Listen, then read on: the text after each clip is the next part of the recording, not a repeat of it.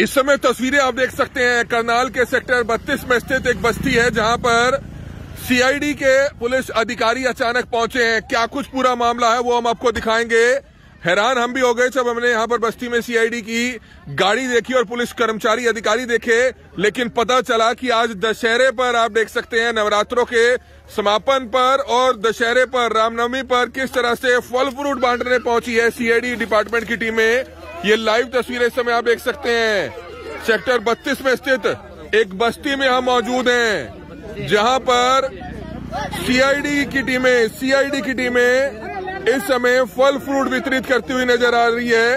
हर साल रामनवमी पर, दशहरे पर इसी तरह से फल फ्रूट वितरित करते हैं और आज भी आप ये लाइव तस्वीरें समय देख सकते हैं, जहाँ पर फल फ्रूट विस्तृत करते हुए सीआईडी के अधिकारी सीआईडी के अधिकारी इस समय आप देख सकते हैं छोटे छोटे बच्चों में संतरे, सेब, केले वितरित करते हुए नज़र आ रहे हैं। एक अच्छी पहल है।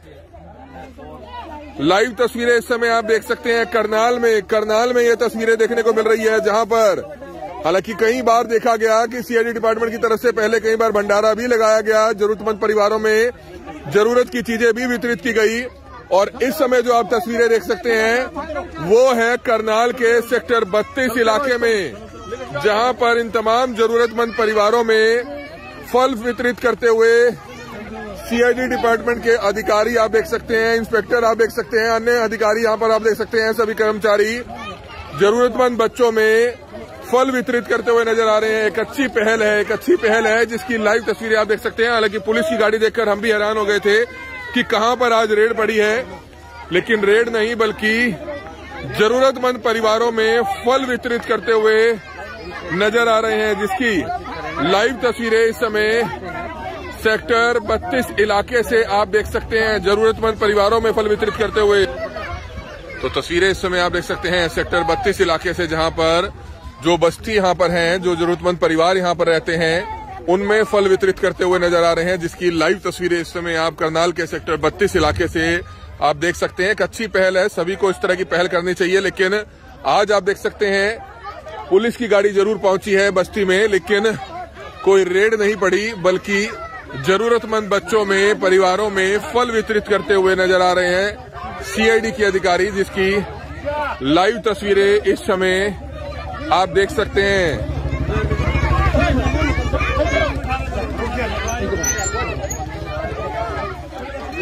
बैठ जाओ बेटा बैठ जाओ।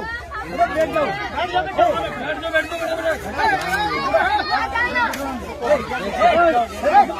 तो तस्वीरें इस समय आप देख सकते हैं। सीआईडी के पुलिस अधिकारी इस समय बच्चों में फल फ्रूट वितरित करते हुए नज़र आ रहे हैं। लाइव तस्वीरें करनाल की इस समय आप देख सकते हैं। करनाल की देख सकते हैं जहाँ पर पुलिस की गाड़ी ज़रूर पहुँची बस्ती में लेकिन फल फ्रूट वितरित करने पहुँची है, जिसकी तस्वीरें समय आप देख सकते हैं। तो आप देख सकते हैं किस तरह से तमाम पुलिस अधिकारी इस समय फल वितरित करते हुए सीआईडी डिपार्टमेंट की टीमें फल वितरित करती हुई दशहरा पर आप देख सकते हैं। हर साल इसी तरह से कार्यक्रम ज़रूर रहता है और आज भी आप ये लाइव तस्वीरें देख सकते हैं। बच्चों में फल वितरित किए जा रहे हैं। एक अच्छी पहल है जिसकी तस्वीरें इस समय आप देख सकते हैं। पुलिस की गाड़ी में फ्रूट की पेटियाँ हैं, फ्रूट की पेटियाँ हैं। आप लाइव तस्वीरें देख सकते हैं। फ्रूट की पेटियाँ और जरूरतमंद परिवारों में फल वितरित करने पहुँची है इस समय सीआईडी डिपार्टमेंट की टीमें, जिसकी लाइव तस्वीरें करनाल के सेक्टर 32 इलाके से इस समय आप देख सकते हैं। एक सराहनीय पहल है। अच्छा काम करते हैं, सराहनीय है। आगे भी करते रहना चाहिए, सभी लोगों को करना चाहिए। तस्वीरें इस समय आप देख सकते हैं।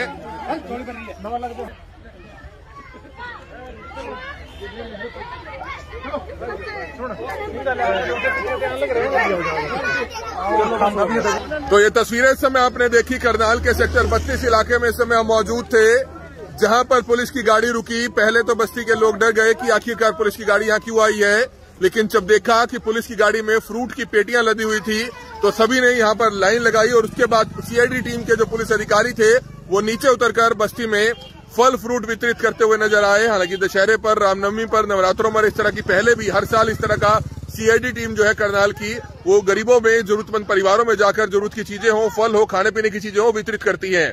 आज भी अच्छी पहल की गई है, जिसकी तस्वीरें इस समय करनाल के सेक्टर बत्तीस इलाके से इस समय आप देख रहे थे। Kamal Midda, Karnal breaking news, Karnal.